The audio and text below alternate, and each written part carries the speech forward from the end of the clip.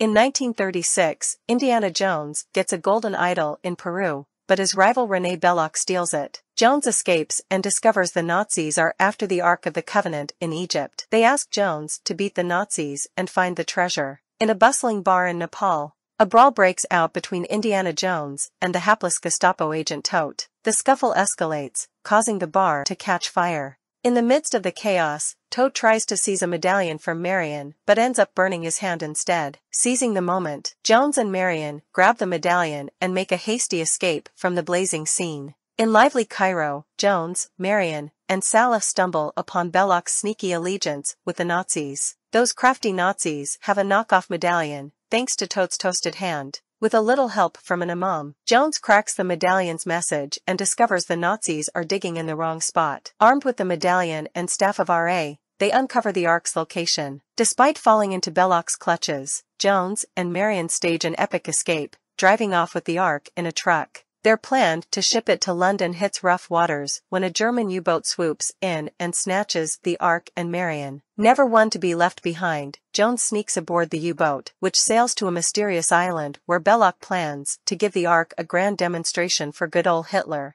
Jones gives the Nazis a taste of their own medicine by bluffing about obliterating the Arkansas Belloq, Being no fool, realizes Jones means business and throws in the towel. The Nazis round up Jones and Marion, Belloq cracks open the Ark, but all he finds is a heap of sand. Jones suggests they all play a game of blindfold and ignore to avoid the Ark's powers. Suddenly, spirits and flames burst forth from the Ark, turning Belloq, Toht, and the Nazis into crispy critters before sealing itself shut. Jones and Marion cautiously open their eyes to find themselves in an empty void, liberated from their captor's clutches. US Gov gives Hon a pat on the back for securing the art but they refuse to disclose its new location. The Ark is eventually packed into a crate and stored in a massive warehouse, blending in with countless other crates.